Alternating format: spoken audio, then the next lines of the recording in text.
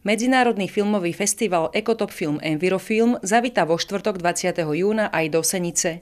Program festivalu v Dome kultúry bude opäť rozdelený na dve sekcie.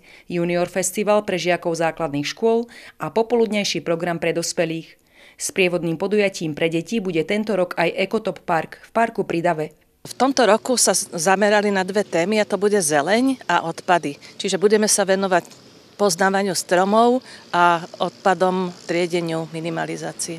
Keďže je vhodné počasie a tieto aktivity sa lepšie robia pre deti vonku. Budú to stanovištia, na ktorých budú riešiť úlohy, e, odpovedať na otázky a potom sa zase zídu sem a budú vyhodnocovaní. Program pre dospelých začína o 16. hodine v Dome kultúry sériou filmov zameraných na ekologické témy.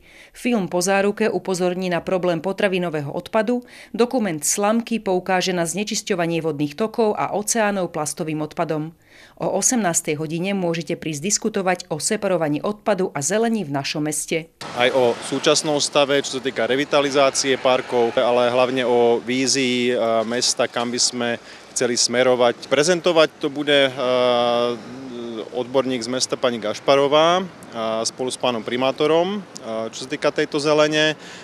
V diskusii bude aj zástupca technických služieb, hlavne čo sa týka eh, triedenia odpadu. Organizátori Ekotop filmu vyhodnotia aj súťaž v zbere papiera a ocenená bude najlepšia trieda zo všetkých základných škôl i jednotlivec, ktorý priniesol najviac papiera.